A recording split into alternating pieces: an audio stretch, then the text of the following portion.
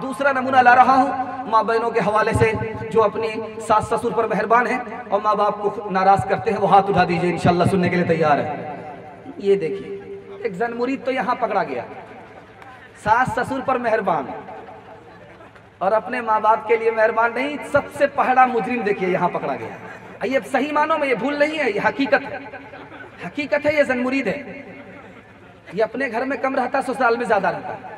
ससुराल में रहने वाला दमाद और कुत्ता दोनों बराबर। ध्यान दीजिएगा, बहुत प्यारा मुताला आपकी खिदमत में लेकर के आ रहा हूँ। बहुत ध्यान से आप लोग सुनने के लिए जा रहे हैं। मैं आपको सुनाने के लिए जा रहा हूँ। ध्यान से सुनिएगा, अल्लाह के रसूल की खिदमत में एक आदमी आया, सहाबी आया कहा, या रसूल अल्लाह गुनाह हो गया। कहा, इसमें परेशान होने की बात क्या है? अल्लाह से तौबा कर लो। कहा, या रसूल अल्लाह बहुत बड़ा गुनाह हुआ है। कहा, बहुत बड़ा गुनाह हुआ है? तुम्हारी माँ ज़िंदा है? कहा हाँ ज़िंदा है।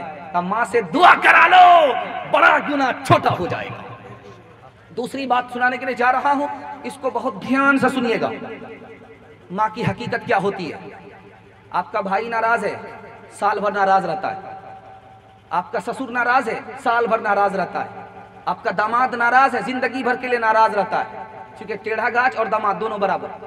साल भर, उम्र भर के लिए नाराज़ हो जाता है। लेकिन एक जात है, एक पल में नाराज़ होती है, एक पल में राज़ी हो जाती है, वो कोई और नहीं है, माँ की जात है। बेटे से नाराज़ है, बात नहीं कर रही है, लेकिन अपनी बेटी से कहती है कि बेटी, देखो तुम्हारे भाई ने खाना खाया है कि नहीं खाया है। आह, क्या दिल है। नाराज़ तो है, लेकिन दिल से नाराज़ नहीं है। अब बेटा आया, माँ के पैर पकड़ लिया, दाढ़ी पकड़ लिया, माँ ने माफ़ कर दिया। सबसे जल्दी माफ़ करती है, माँ माफ़ करती है। सबसे ज़्यादा नाराज़ जल्दी में माँ होती है और जल्दी में राज़ी माँ हो जाती है। तीसरा नमूना आपके सामने लेकर के आ रहा हूँ, इसको ध्यान से सुनिएगा। छोटा बच्चा आपकी गोद में, उसने माँ के मुँह पर तमाचा मारा, बाप के मुँह पर तमाचा मारा, बाप को गुस्सा आया, नीचे रख दिया। लेकिन माँ के मुँह पर तमाचा मारा, माँ ने उसके हाथ को चूम लिया। यह है माँ की मोहब्बत। चौथा नमूना लेकर के आ रहा हूँ। इसको बहुत ध्यान से सुनिएगा। आप देखेंगे माँ क्या होती है। आपको कदर उस वक्त होगी जब आपकी माँ दुनिया छोड़ करके चली जाएगी। अभी आपको कदर नहीं होगी। अभी कदर कीजिए, आपकी उम्र अल्लाह बढ़ा देगा।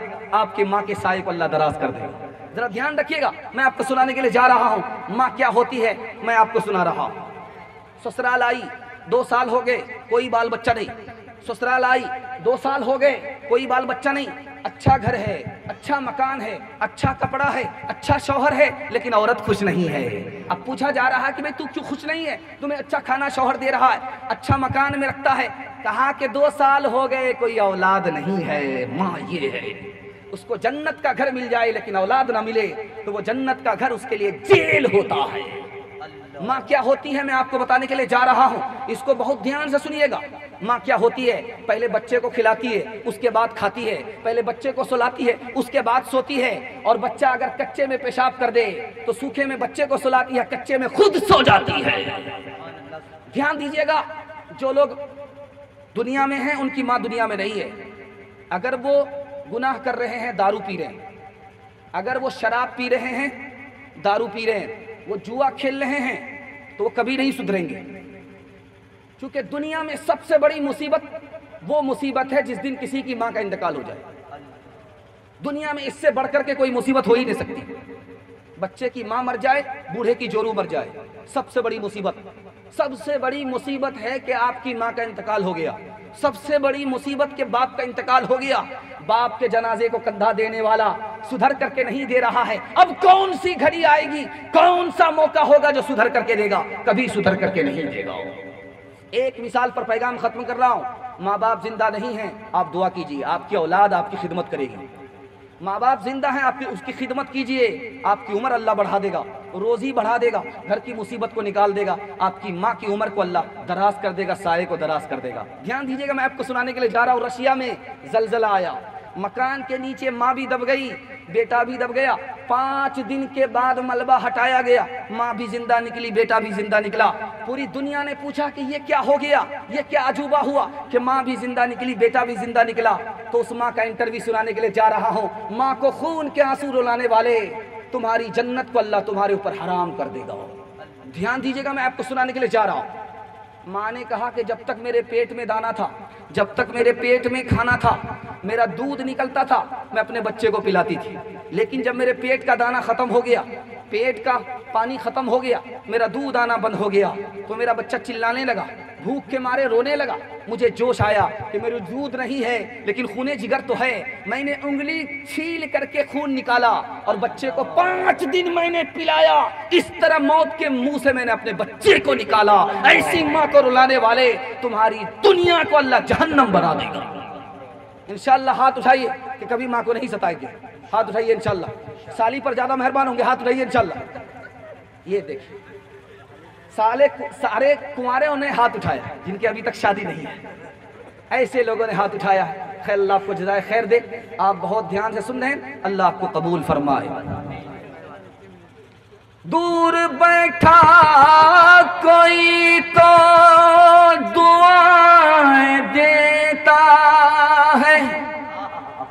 मैं डूबता हूँ समंदर उछाल देता है।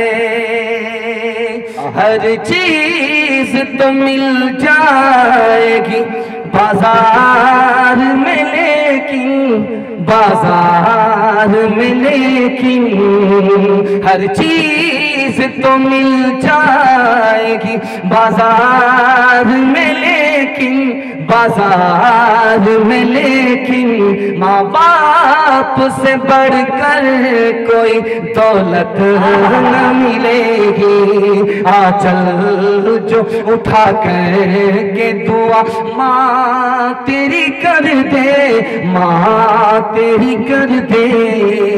आ चल जो उठा कर के दुआ माँ तेरी कर दे, माँ तेरी कर दे। दुनिया हो या उकबा कहीं जिल्लत न मिलेगी। माँ बाप की खिदमत में दिलो जान लुटाओ। कुरान का फरमान है, तुम इसको निभाओ। करो माँ बाप की खिदमत तुम्हारे काम आएगी। यही खिदमत तुम्हें अल्लाह से जन्नत दिलाएगी। बढ़ाएगी तुम्हारी उम्र के अयाम। ये खिदमत अता होगी बफैज की बुरिया। रोजी में भी बरकत अल्लाह की रहमत साया फगन होगी। मिसले कमर किस्मत जलवा फगन होगी। ये कश्ती अमल की है। इसे पार लगाओ। कुरान का फरमान है, तुम इसको निभाओ। ध्यान दीजिएगा, शादी के बाद माँ बाप से अलग हो जाएँगे, हाथ उठा दिए, इंशाल्लाह। ये देखिए, एक मजनू ने हाथ उठा ही दिया और हमारी तरफ़ देख रहा है कि सही गया है कि गलत गया जरा ध्यान रखिएगा, चौथा और आखिरी पैगाम औरतों के हवाले से सुना रहा हूँ, और उसके जलसे को मुकम्मल कर रहा हूँ। आपसे जैसी उम्मीद नहीं थी उससे ज़्यादा आप लोगों ने जलसे को कामयाब कर दिया। यहाँ से लेकर के वहाँ तक सुनने के लिए तैयार है दोनों हाथ उठाइए इंशाल्लाह बिल्कुल सही जा रहा है। औरतों के हवाले से सुनाने के लिए जा रहा एक औरत को चार मर्द की मोहब्बत मिलती है। औरत एक है उसको चार मर्द की मोहब्बत मिलती है। अगर वो किसी की बहन है तो भाई की मोहब्बत मिलती है। अगर वो किसी की बेटी है तो बाप की मोहब्बत मिलती है। अगर वो किसी की बीवी है तो उसको शोहर की मोहब्बत मिलती है। अगर वो किसी की माँ है तो बेटे की मोहब्बत मिलती है। औरत एक है, उसको चार मर्दों की मोहब्बत मिलती है।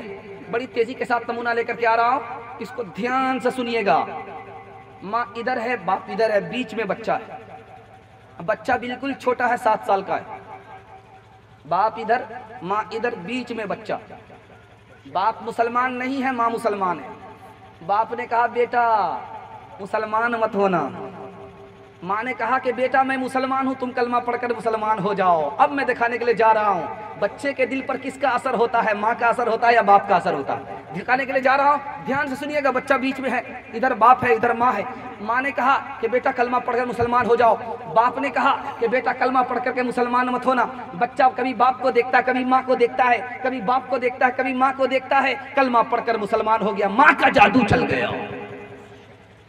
औरत के ऊपर पैगाम दिया। जवान ने दिया। जवान मुसलमान नहीं है, लेकिन जिस औरत के ऊपर पैगाम है, वो मुसलमान है। उस औरत ने कहा कि मैं तुमसे एक शर्त पर निकाह करना चाहती हूँ कि तुम्हें महर देना पड़ेगा। कह, देंगे? कहा कि मेरा महर अलग होगा। क्या महर होगा? मेरा महर यह होगा कि तुम इस्लाम कबूल कर लो। बीवी का असर शोहर के ऊपर होता है। वो कलमा पढ़कर मुसलमान हो गया। तीसरा नमूना दे रख ले जा रहा हूँ, ध्यान से सुनिएगा। भाई की बीवी का इंतकाल हो गया। भाई ने अपना इरादा बदल दिया कि निकाह नहीं करूँगा।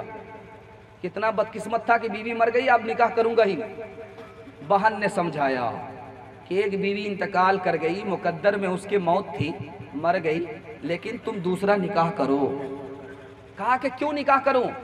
कहा कि तुमको जब औलाद होगी और वो नेक होगी वो सांस लेगी तो हर सांस पर तुमको नेकी मिलेगी।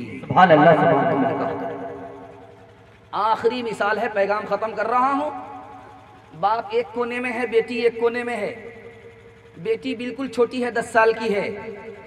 बाप ने देखा कि बच्ची को नींद नहीं आ रही है। बाप ने आकर के पूछा कि प्यारी बेटी क्यों नींद नहीं आ रही है? कहा कि अल्लाह का शुक्र है पूरे जिसम में जख्म नहीं है उंगली में जख्म है। इसी वजह से नींद नहीं आ रही है। लहजा देखिए। पूरे जिस्म में जख्म नहीं है, अल्लाह का शुक्र है। उंगली में जख्म है, इसलिए नींद नहीं आ रही है। तो बाप की नींद उड़ गई। अब बेटी ने बाप से पूछा कि, अब्बा, हुजूर, आपकी नींद क्यों उड़ गई? कहा कि, बेटी से बाप को मोहब्बत होती है, इसलिए नींद उड़ गई। तो बेटी ने कहा कि, अब्बा, हुजूर, एक दिल में खुदा ही की मोहब्बत होती है, गैरुल्लाह की मोहब्बत नहीं होती। जो बाप वली नहीं था बेटी की वजह से वली बन गए औरत तो तुम तो नहीं ना सिकिलासत के लिए तहर में आई हो इंसान की अजमत के लिए। तुमने औलाद को शौहर को दिया मुकमा तुमने बच्चों को सवारा है इमामत के लिए। तुमने आगोश में पाला है वली और शहीद। कीमती लाल बिखेरे हैं शहादत के लिए। मर्द पर ही तो नहीं पर दो तकवा। तुम भी तो आए हो मौला की इबादत के लिए।